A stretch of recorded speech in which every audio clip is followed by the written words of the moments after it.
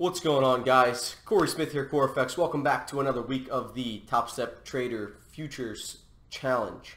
Um, another week in the books here. Slow week, not the best week, but another week in the books. We got some more trading documented. We got some more journaling done. We got some more analysis of this strategy to see where we're at. So anybody who's new to these videos, what I do is I started this challenge about a month and a half ago. Um, brand new to futures trading. I've been trading Forex for six years professionally and all. Um, now I'm trying to Forex, I mean a futures challenge, trading crude oil only to start. Um, trading a breakout strategy I put together myself very quickly. Very easy basic strategy. I'm not expecting it to be a killer off the start. I'm expecting to adjust it over time as I go. And I wanted to document the journey live with you guys. So every week I record the exact trades that I took, exactly what the outcome was with them um, and exactly what's going on throughout the week. And I show you guys raw behind the scene footage of waking up and trading every day um, with a set strategy, set discipline, um, following you know a set asset. So I've been doing it with crude oil, and we are now at 49,370 in the account. So we started with 50,000. Obviously, this is not great as we're in drawdown, but we're only down about 600 bucks total after 26 trading days. So that's complete days of actually placing trades. We've won 46% of them, so a little less than half of the days trading we've won. Um, but the you know average winning versus losing isn't that great, and that's because the strategy is a losing strategy right now. Right, we're winning 32% of our trades. We're winning $249 on an average win, and we're losing 142 on our average loss. So that's still a great risk to reward ratio. A little less than 2 to 1, but still pretty close. It's still a good risk to reward ratio.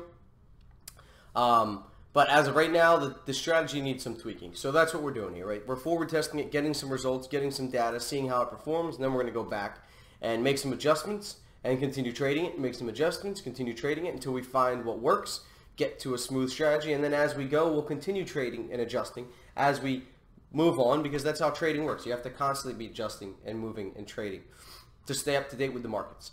Um, but we have another week down in the books here. It is April 12th. Uh, I didn't take any trades on Thursday or Friday this week. So we just have Monday, Tuesday, Wednesday's trades. Not the most active week. I was traveling a bit and just didn't have the right setups, which is fine. We haven't seen much of that yet, but we did this week, and that is okay.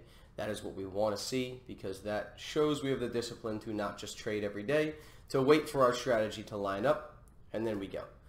All right, guys, so uh, I really appreciate anybody who's seen these videos before, returns to watch these videos. Love you guys. Can't thank you enough. Throw any comments below. Throw the like button if you like what you see. If you want to see anything different, got any comments, good, bad, or indifferent, throw them below, and I'll be sure to get back to you. Um, and yeah, with no further ado, though, guys, I'll go ahead and jump into this video. Start going over it. Subscribe to the page and turn on notifications if you like these, and you'll get notified every single week when I upload them. All right, guys. So I'm going to go ahead now, jump into Monday, jump into breaking down my trades with you guys, and I will see you on the outside. What's going on, guys? Monday morning here. Uh, another trading day here with the crude oil futures. Um, to start the week, unfortunately, we had a couple losses here this morning. We had this range established.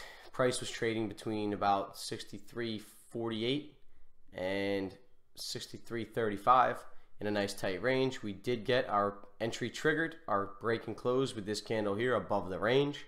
Triggered us in long. Price turned around against us, 15 ticks stopped us out. Then we had our trigger below, break and close below the range, shorted it, moved down in our direction, and then immediately reversed, and now you can see it's exploding higher. So really terrible price action today. Um, no clear direction, complete whipsaw, as you can see in this area, just terrible, terrible price action. Um, so unfortunately, we got stopped out. But again, that is the plan. That is the strategy. Um, we are now down to the lowest we've ever been in the account. We're at $49,698. Down about 300 bucks on the account. This is the most we've been in drawdown. So, um, you know, we'll be staying on the drawing board, figuring out what we can do better and what's going on here. But that is where we're at here for Monday. We took two losses. Our limit for the day has been hit, so we are done trading for the day. We'll be back tomorrow on Tuesday to see what we have in store. Alrighty guys, Tuesday here, uh, another trading day, another crude oil trade session in the books. Um, it's not populating here as it's after 5 p.m. recording this. However, I took a short today and unfortunately got stopped out right before it went down, of course. I'll show you guys exactly what happened. So here we are. Here was our trading range that we had established this morning. Here's where we broke and closed below. I wasn't behind my computer, mistake number one. I entered after this candle closed about here, which was the mistake. Instead of waiting for price to come up even a little bit higher, 32 even would have been better. So I got in down here at, I believe, 28. I set a 15 tick stop up here at 43. Um, 3. what did we tap? 45. What did it do? Reverse.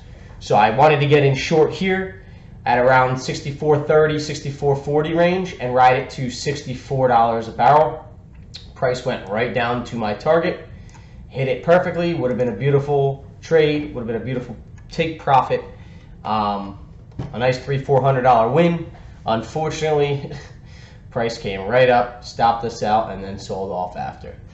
So, uh, lesson learned, and that is another one going into the journal. Told you guys we were going to be forward testing, going over the results and what we can do better. And that is just an overall trading mistake. That is my error. That is not following my plan and my discipline. I was not behind the computer. I was on my phone. This price looked like it had come back up to retest this level higher than it really had. Um, I, I, wanted to get in short up around here. Instead, I got in all the way down here, and that few extra ticks that I missed on the entry is where I got stopped out. If I would have gotten it at a higher price, my stop loss would have been up here a little bit higher, and I would have gotten out. I mean, I would have stayed in, wouldn't have stopped me out. Come on. And uh, would have wrote it to a take profit winner. It, it honestly could have ended up being a much bigger winner even. I could have gotten 50 ticks in a matter of an hour. Right? Um, one, two, three, four 15 minute candles. That's an hour. Moved all the way down to 63.75 really. Um, so opportunity missed. It sucks. We're, we're going further into the drawdown now. We are at 49,525, the lowest we've been at in the account yet. But it's all good. It's just drawdown. It happens. This is lessons for us to learn. This is, you know, more going into the book of what not to do, which is very important. Learning lessons and making mistakes to teach you things are very good. And with this strategy, you cannot mess around. This is obviously showing me if price breaks out this low and I don't get filled up here, too bad. Let the trade go because if not, this stupid shit happens. Sorry for my language, guys. Uh, just a little frustrating, obviously, when you have a loser that would have been a winner if you would have just followed your plan. So lesson learned, guys. Take a note of it. I am, I know that's for sure. It's going in my journal and it's going to be drilled into my brain not to let it happen again. So lesson learned. Continuing onward, tomorrow's Wednesday. We got a news day, so we will be trading early in the morning only, getting out before news if we even take anything. Um, but that is that, guys. I will see you on Wednesday's day. Alrighty, guys. Wednesday here, April 10th, another trading day in the books.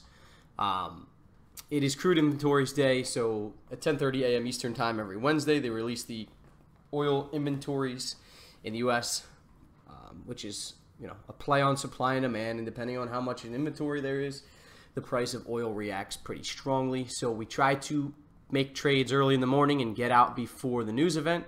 As you can see, all these wild wicks and candles in the opposite directions whipsawing around. That's all results of the news. Um, here's the trade we took this morning. We woke up and this blue box was our value area. This was our range. At, um, let me see, had to grab my journal. At 4.45 a.m., we broke and closed above. I got in here. I meant to get in here, but I fat fingered it, pushed it up here. Uh, I meant to set like a pending order. Instead, I hit a market, got us in up here. Either way, Decent entry. We then shot up 20 ticks. One, two, three candles straight up. Shot up 20 ticks. My target was up here at 64.70. so I didn't take out my position. I left my stop loss alone. Um, price moved back against me. Started to move up again. Moved back against me and stopped me out. So the drawdown continues, guys. Big, big, big lesson to take away here. I want to take this time to, to go over a big lesson, guys. Now, the strategy is not working at the moment, right? We are negative in the account. We're at 49371 now.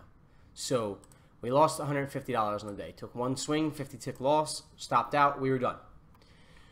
Now, a lot of times traders go through drawdown with a strategy they just learned, they just made, they bought from somebody, whatever it may be. They go through drawdown. When they get negative, they start either changing the way they trade or they just jump ship on the strategy altogether, call it quits and run away. Jump onto the next system, trade that until they blow up their account, and then jump to the next one and move them on and on and on. Instead of refining the strategy, find out why it's not working, how you can adjust it and improve it, they just run away and jump ship. The other thing that happens, start going into drawdown, psychology kicks in, they start getting, oh my God, I'm, I'm losing money. I need to get back to $50,000 break even to start winning again. Oh, this trade, I'm going to double the risk I normally do. Or I'm just going to take a crazy position size. Or I'm going to tighten this up. Or I'm going to tighten that up. I'm going to change this with my strategy. And they start getting crazy. They start getting undisciplined. They start not following their system. If they even ever had one to begin with. And they self destruct. They blow up their account 10 times worse. And the, there goes everything. So what we're doing here, we're staying calm. We're journaling, we are realizing, okay, we're in drawdown. We've had like a week and a half straight of losing trades. So the strategy's not performing well, but we still haven't hit our stop out point. We're still in positive territory. I mean, in um, keeping the challenge account open territory, right? We haven't hit the maximum drawdown, which is only $2,000. It's a very small maximum drawdown because we got the account up to 40, uh, 50,700. I think our, our drawdown's 48 thousand seven hundred, something like that. So I can only lose six hundred dollars more before this challenge account's done. And if that happens, so be it. I'll reset it. And this time, like I've been telling you guys, I'm going to up the position sizing. I'm going to go for the bigger account so that I can trade multiple positions. But as of right now, we're still alive. We're still journaling. We're taking notes as to what's happening, where, how, and we're moving on. Now I might start to notice that I get 20 ticks when I get a breakout and then it turns around. Right? And if I notice that happen enough times, guess what I'm going to do? I'm going to adjust my positions and my targets so that I'm taking that 20 ticks and I'm running. Right? So, um, basically, the most important thing I want you guys to take away from this is you got to stick with it. You have to stay disciplined. You have to maintain status quo, stick to your strategy, and continue moving. Right? This losing trade is normal. It happens. It was the news day as well, so price action was pretty whippy.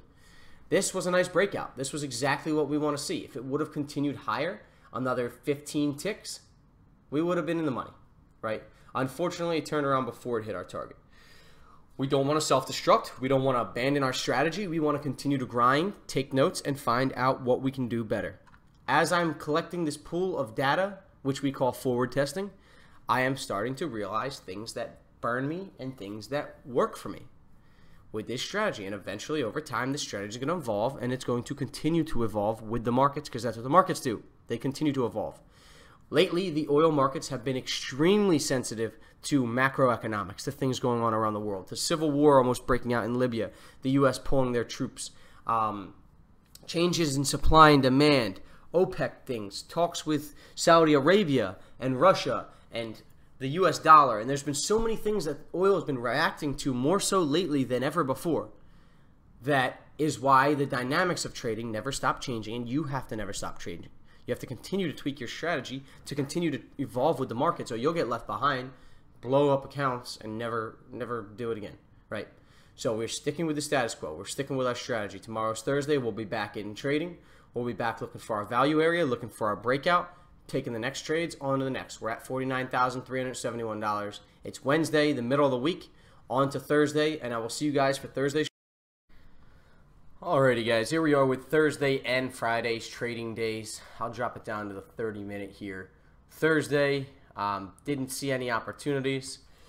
As you can see, price did move down throughout the day, but there was a lot of whipsaw price action. We didn't have a nice range established at the beginning of the session that we look for to find a breakout from.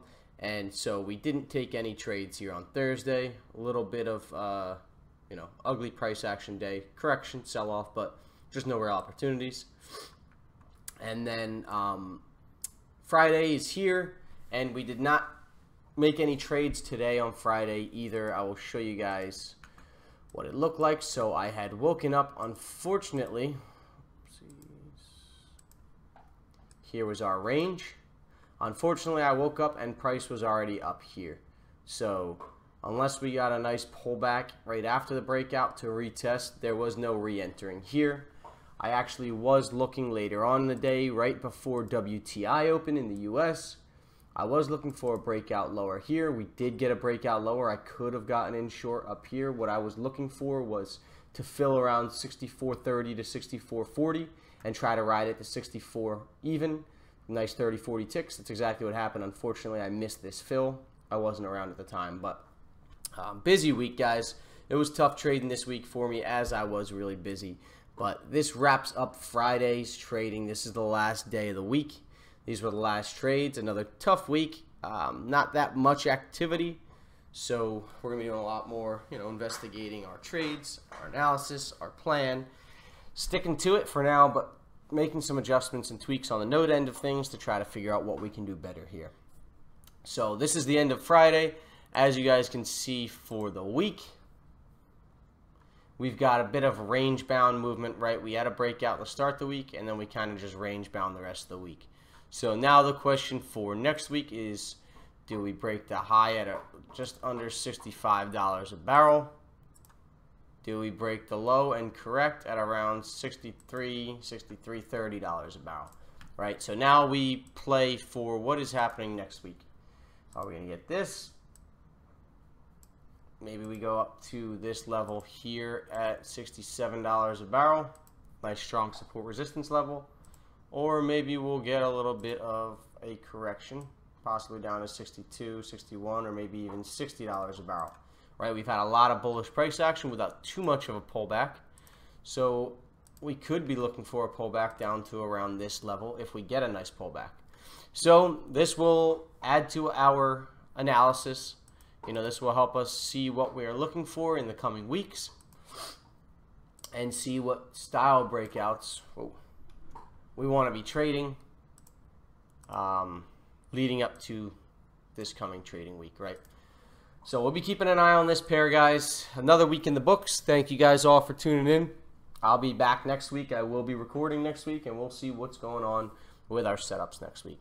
All right, thank you guys. I appreciate it. Stay tuned as always, and I'll catch you in the next one.